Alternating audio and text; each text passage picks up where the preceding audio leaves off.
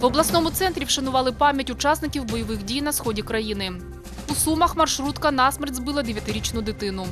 Липоводолинський альянс переміг суперника у матчі аматорського чемпіонату.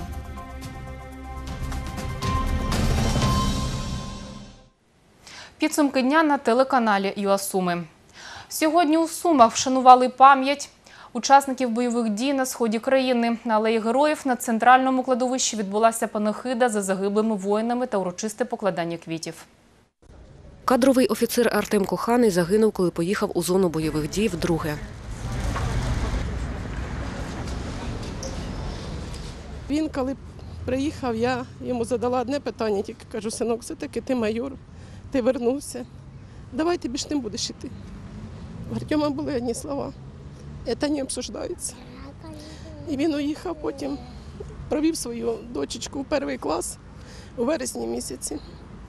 А 14 ноября 2014 року він загинув. Виїв з оточення волонтерів, а сам загинув. Знали, що засідка. Він був найкращий, найлюбивий.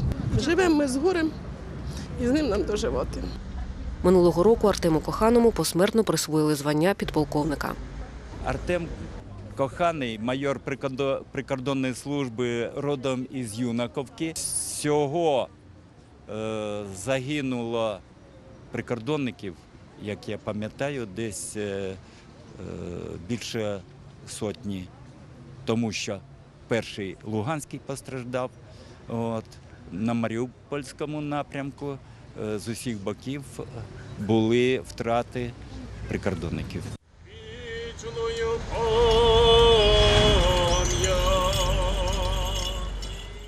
Нашому місті учасників АТО на сьогоднішній день 3065, е, 49 сімей загиблих учасників АТО і 109 сімей, членів сімей загиблих учасників АТО.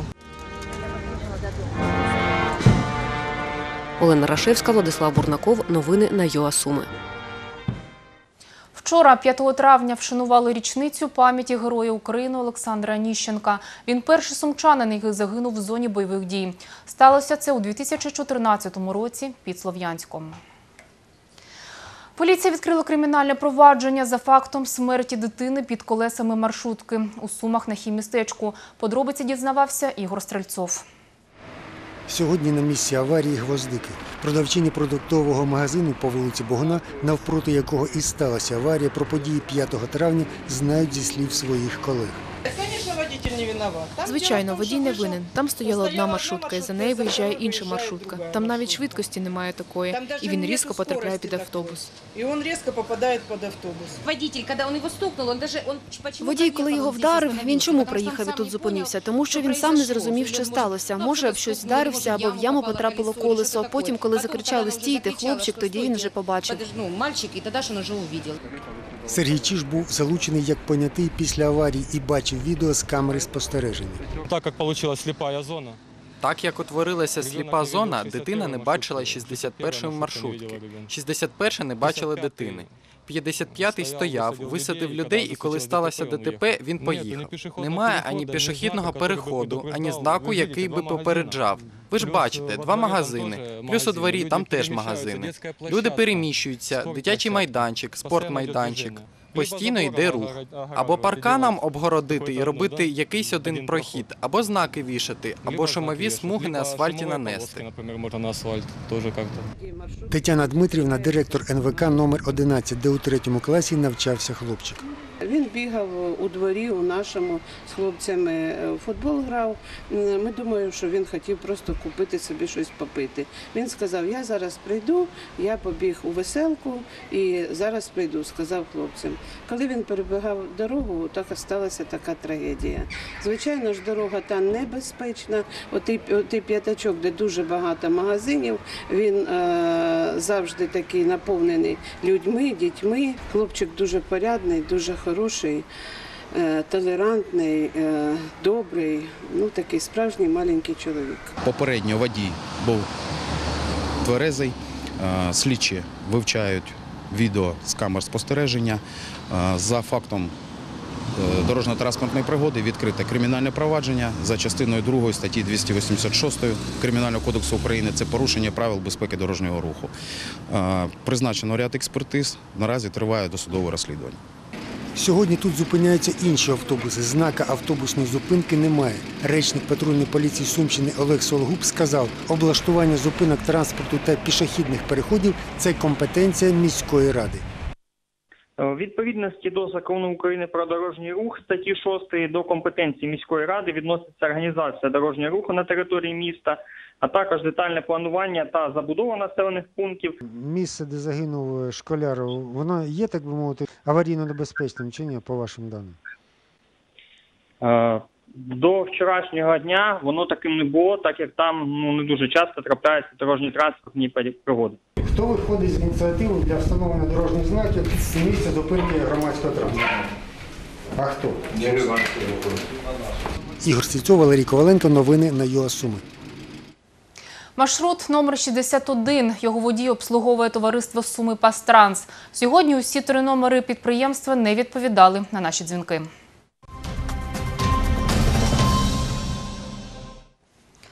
Водію тролейбуса, який їхав з відчиненими дверима, випишуть догану. Трапилась подія вчора близько 6 години на тролейбусному маршруті номер 1 Ось це відео в інтернет виклав сумчанин Олег Нестеренко.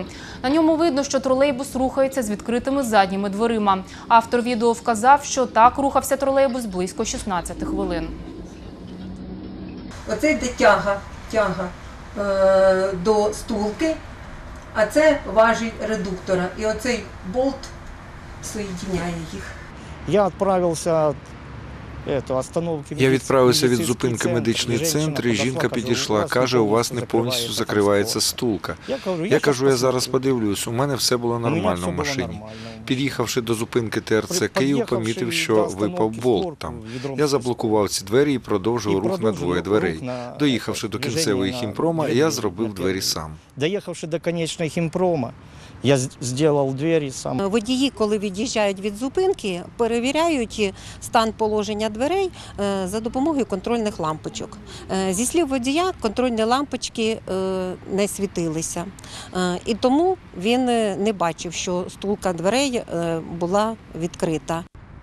За словами Тетяни Наконечної, тролейбус, про який йде мова, марки ЗІУ 9 1988 року випуску. Капітальних ремонтів йому не проводили. Середній востанній був у 2012 році.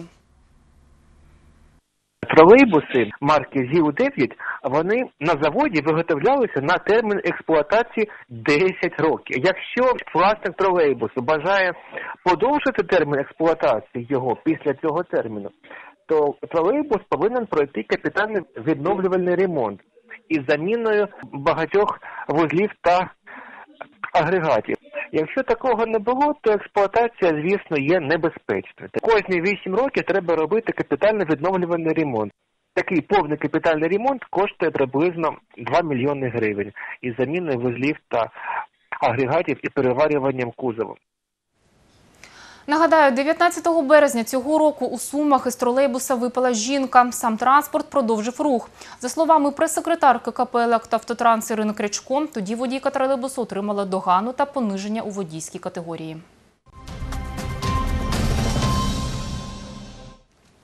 Музичні виступи для сумчан та гостей міста просто неба. Роблять такі у сквері щастя щонеділі ввечері. Вчора там побувала моя колега Анна Погребна. Цієї неділі вуличні музики відіграли концерт втретє. Чисто випадково підійшли, побачили, що був соліст групи Кая. Стало дуже цікаво, що тут буде відбуватися.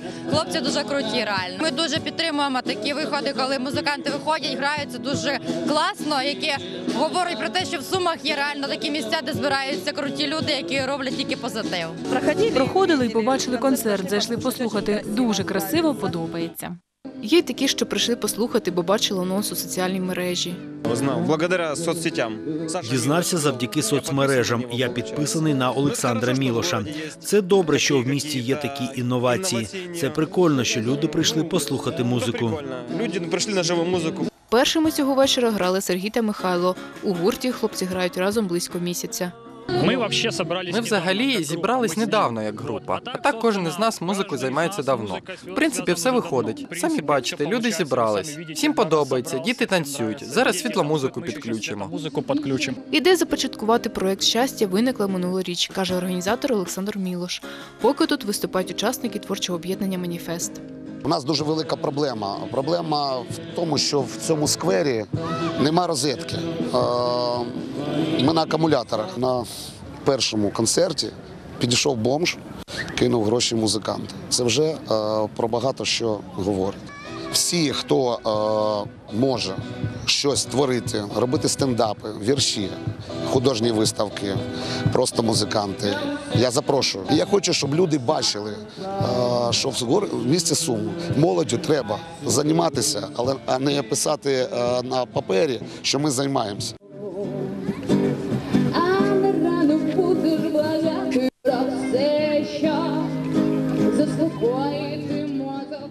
За словами Олександра Мілиша, проводити концерти просто неба збираються до кінця літа один чи два рази на тиждень. Анна Погребна, Олександр Козак. Новини на ЮА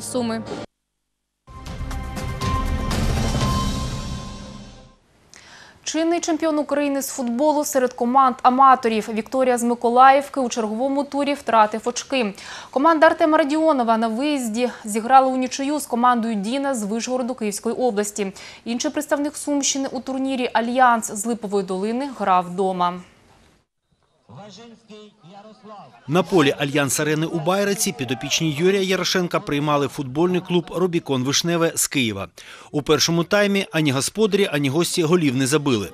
Зі стартовими нулями на табло суперники розпочали другий тайм матчу. Протримались вони 7 хвилин. На восьмій хвилині другого тайму атаку господарів правим флангом голом завершив Фарід Сулейман. На 80-й хвилині голом у ворота киян завершилась атака господарів лівим флангом. Її завершив Владислав Шарай. Підсумок 2-0 на користь Альянсу. Пропустили два м'яча. Пропустили два м'ячі у другому таймі. Мабуть, не вистачило якихось фізичних кондицій, тому що сьогодні у нас було лише чотири заміни. Але скажу відверто, радий, як наша команда віддавалась, і я подякував хлопцям за самовіддачу. За самоотдачу. Нам це побіда. Нам це перемога як ковток повітря. Тому велике дякую сказав хлопцям за терпіння, за старання, ну і за здобуті три очка. Задобути три очка. Втратив очки у турі і лідер групи 2 ЛНЗ Лебедин. Команда з Черкащини зіграла вдома у суху нічию з авангардом з міста Бзів. Таким чином, Альянс зменшив до 11 та 9 очок відповідно відставання від команд з Черкащини та Миколаївки.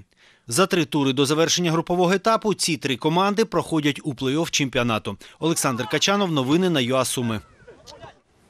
І на цю хвилину в мене все. Побачимось о 20.30. Не примикайте.